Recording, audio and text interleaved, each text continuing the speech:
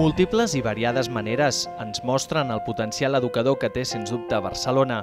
El novembre vinent acollirà el 13è Congrés Internacional de Ciutats Educadores amb més de 400 localitats provinents d'arreu del món.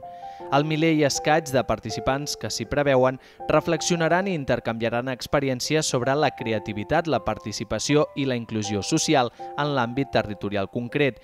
Un primer tastet ja s'ha degustat amb aquest diàleg al Bord Centre Cultural titulat El poder transformador de les ciutats educadores una aposta per una ciutat que aprofundeixi amb la, la democràcia, que aprofundeixi amb el, amb el sentit veïnal, amb, a, amb les mides i amb les dimensions humanes que tenen les ciutats quan, quan hi ha polítiques eh, públiques pues, que les afavoreixen. És a dir, és un conjunt de coses que, que pretenen, sobretot això, no? generar a la ciutat un espai de benestar educatiu i de benestar personal i social. I tenim una densitat cívico-associativa molt important.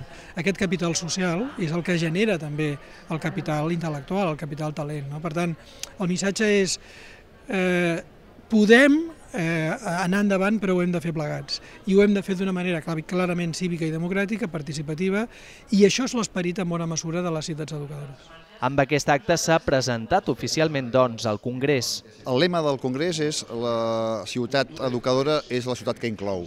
I el que estem intentant entre tots és aprendre, aprendre les ciutats, aprendre unes de les altres, de les bones pràctiques, de les bones experiències que fan que eh, entre tots puguem treballar per una millor inclusió i, i treballar per eh, diguem evitar l'exclusió social. Les inscripcions per participar-hi es poden fer encara fins al 15 de juny. El compte enrere ha començat.